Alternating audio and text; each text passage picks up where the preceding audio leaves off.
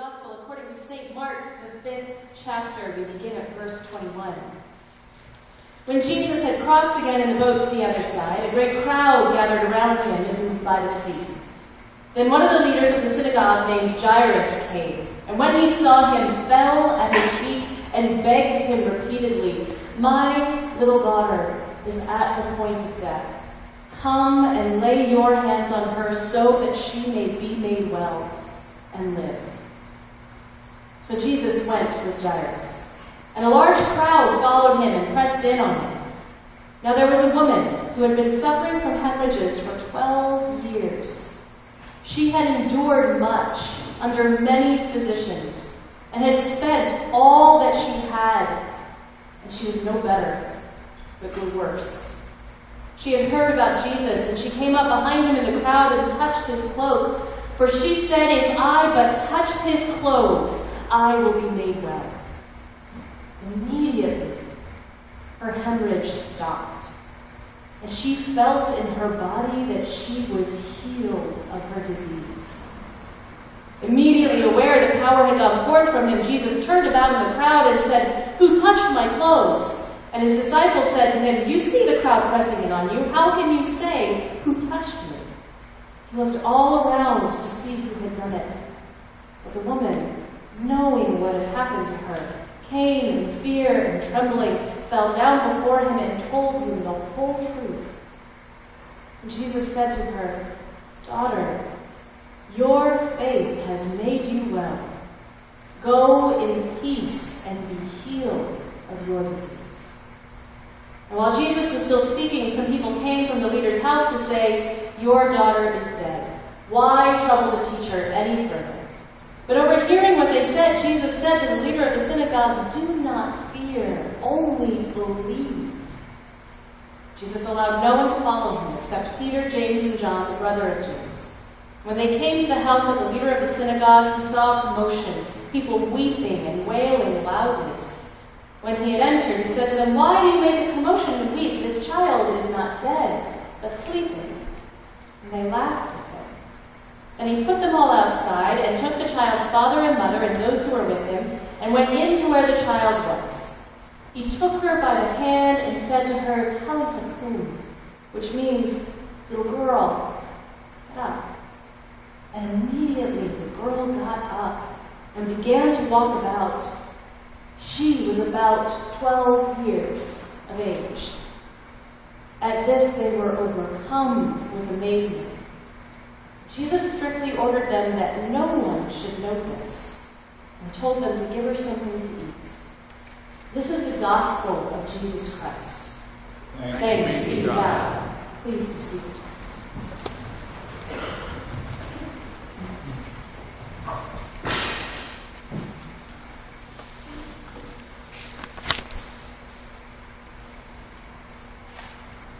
A few months ago, I attended my second service at a historically African American congregation. It was the homegoing service, the funeral of John Candace's father. John is a gentleman we walk with on Fridays, co founder of Connected, and who came and spoke to us inspiringly at the Adult Forum on a Sunday. In the first service that I had attended, crossing racial lines ingrained in my life since childhood, was to hear Dr. Bernice A. King, Dr. Martin Luther King Jr.'s daughter. I gave the benediction that day at the conclusion of the three hour service.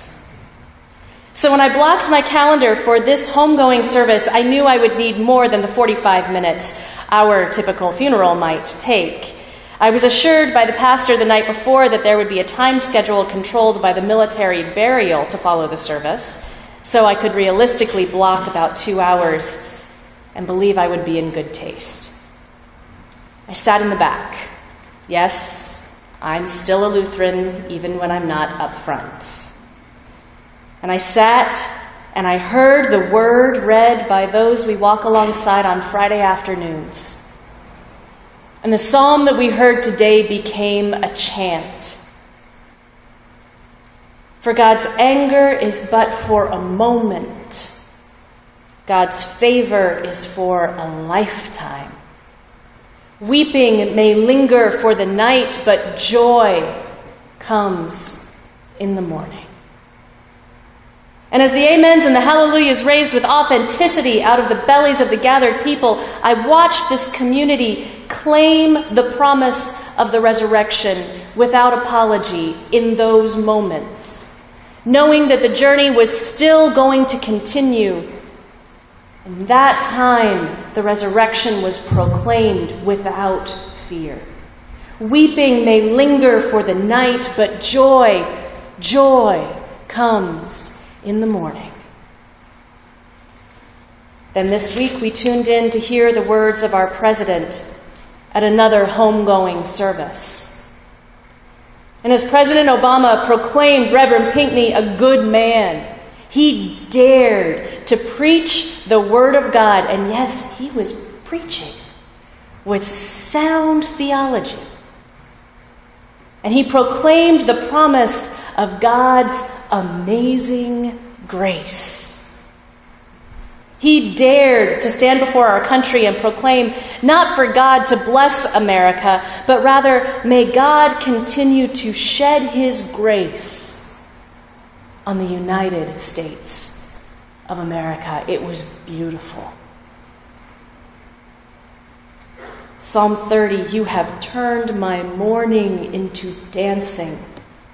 You have taken off my sackcloth and clothed me with joy, so that my soul may praise you and not be silent. O Lord my God, I will give thanks to you forever.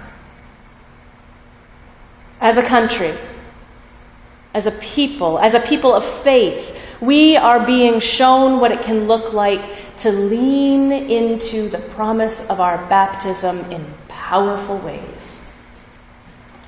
Last night, as I spent an hour praying with Pastor Hennessy and several other pastors from around the region, somewhat painfully aware that my prayers don't carry quite the same cadence or room for participation, I was humbled, humbled by their joy.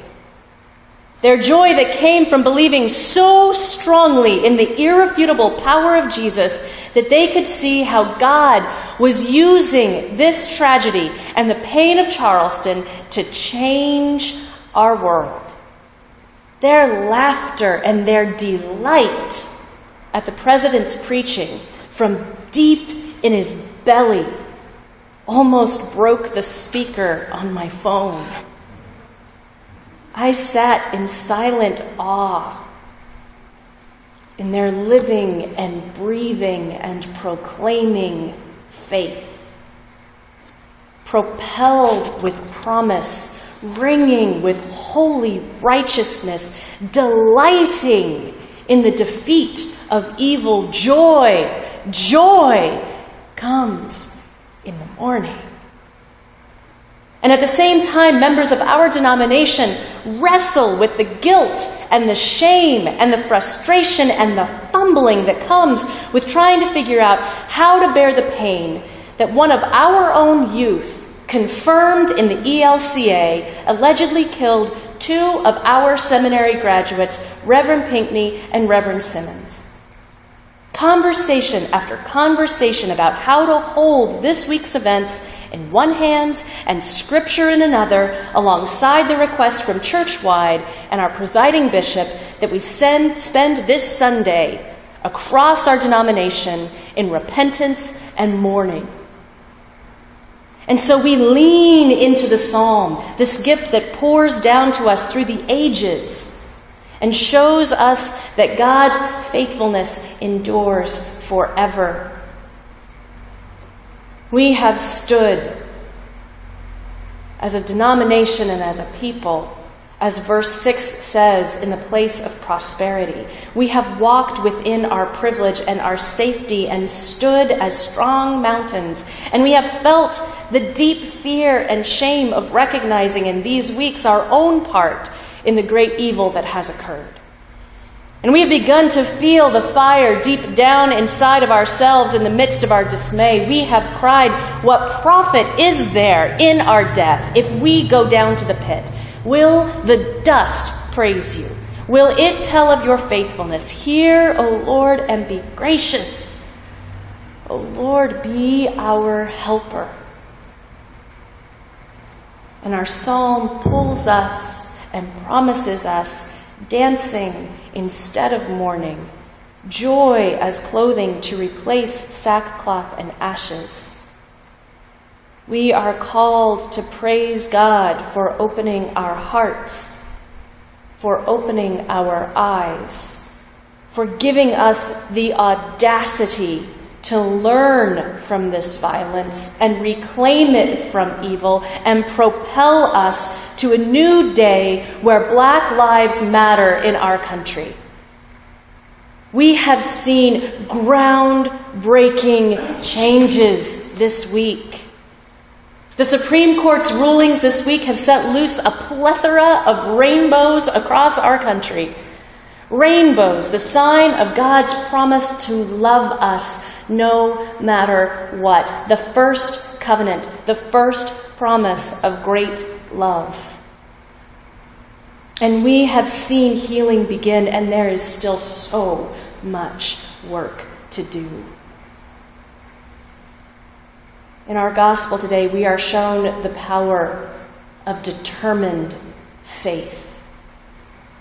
Jairus and the woman who remains unnamed would have known Psalm 30 in their lives. They would have known the promise of morning's joy. They would have known the promise that God can change even the most despairing moment. For 12 years, Jairus raised his daughter, keeping her alive against many odds that pulled children away young. And now she was on the verge of death, and his faith called him, propelled him to make his way to Jesus to beg for healing. For 12 years, this woman had done all that she could to be healed, to find her way back into community. She had gone from doctor to doctor, spending all that she had. She was desperate enough to break the rules and to go where she was told she was not allowed to be. Desperate enough to reach for God and believe in God's abundant mercy, even when she had been shown time and time again it was not for her. And in her boldness, she found healing. Joy comes in the morning not only because God wants it to be there, but because we choose to step forward with blazing audacity and ask for the impossible. To choose to believe so powerfully in the majesty of God that we demand a miracle and we expect it to occur in our lifetime. It is audacious to believe that we could ask God to use the events of these weeks to bring healing to our country and hope to God's children. It is foolish to proclaim that God's power could be big enough, could be strong enough to knock down mountains of oppression and racism and discrimination in our country, and yet that is exactly what our gospel tells us to do. To ask for our children to be brought back from the brink of death for illness that racks our country for a fullness of time to be healed, for the bleeding to stop, for our mourning to become dancing, for our ashes to become joy, for our faith to be so bold and so demanding that our world becomes God's kingdom. A kingdom of amazing grace. Grace that heals us all. Grace that sets us free to serve. Grace that gives us sight to a brighter and better way. Grace for all of God's children. Grace worth singing about.